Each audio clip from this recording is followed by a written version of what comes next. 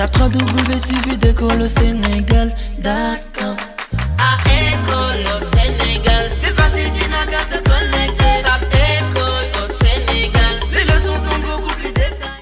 Bon, maintenant, on va voir la deuxième partie, outils de dénombrement.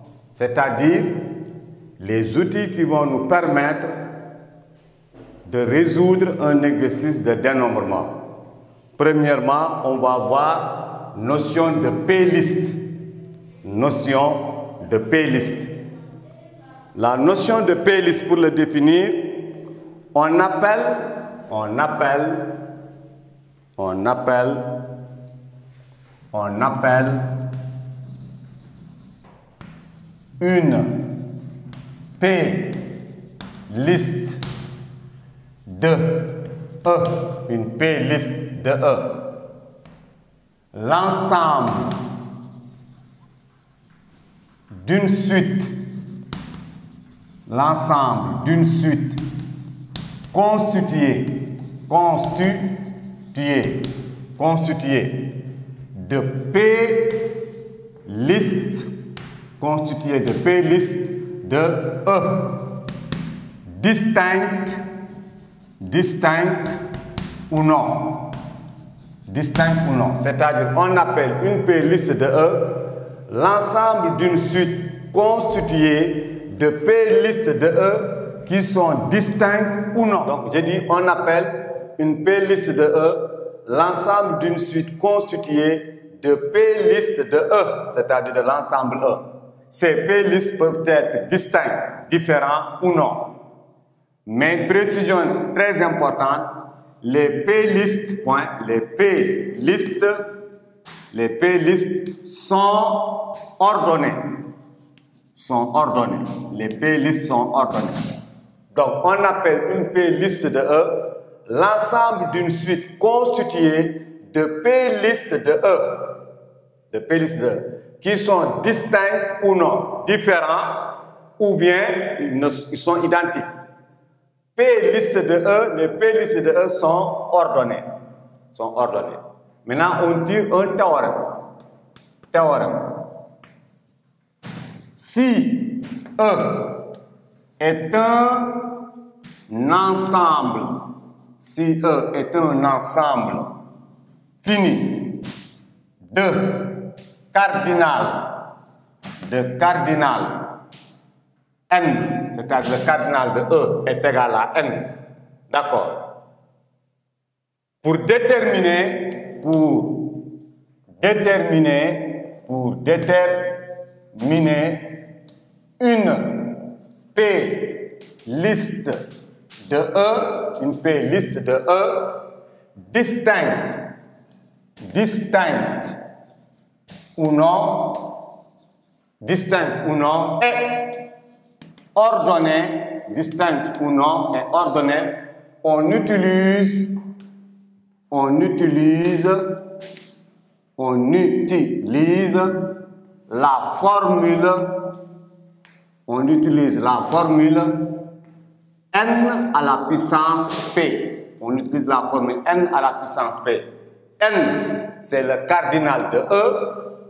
P constitue les P-listes. On utilise la formule n à la puissance E. D'accord. Maintenant, situation, situation d'utilisation, d'utilisation de n à la puissance p. C'est-à-dire dans quel cas on utilise n à la puissance p? Situation 1, on a trois situations. Situation 1, première situation. Si la situation, si une situation, si une situation est caractérisée, est caractérisée par l'ordre et la remise est par l'ordre, il y a l'ordre et la remise, par l'ordre et la remise, on peut, on peut utiliser la formule, on peut utiliser la formule n à la puissance p. C'est-à-dire, si une situation, entendez par une situation, il y a un exercice qui est caractérisé par l'ordre. Il y a l'ordre et la remise. On peut utiliser la formule n à la puissance p. Situation 2. Situation 2. Si l'expérience, si l'expérience est caractérisée, est caractérisée par un tirage, par un tirage avec remise par un tirage avec remise, on utilise, on utilise n à la puissance p. Deuxième situation. Si maintenant j'appelle expérience, tu as un exercice ou bien une épreuve où on te parle de tirage avec remise. On parle de tirage avec remise. On utilise n à la puissance p. Donc, première situation, si maintenant le résultat est caractérisé par l'ordre et la remise, on peut utiliser la formule n à la puissance p.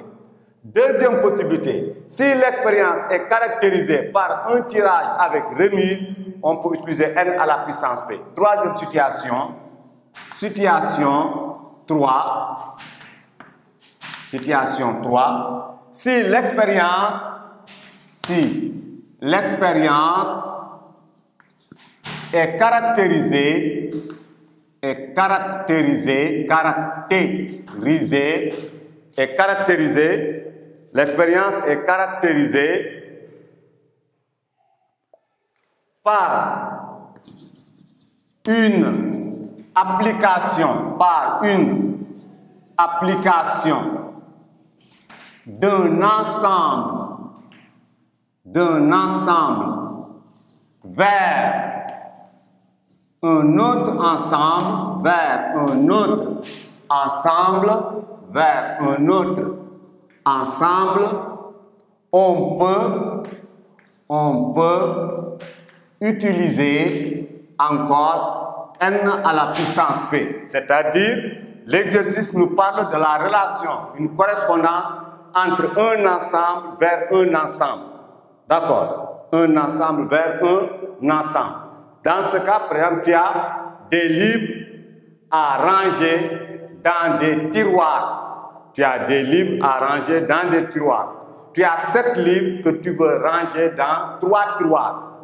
L'ensemble des livres, je le considère comme l'ensemble A. L'ensemble des tiroirs, je le considère comme l'ensemble B.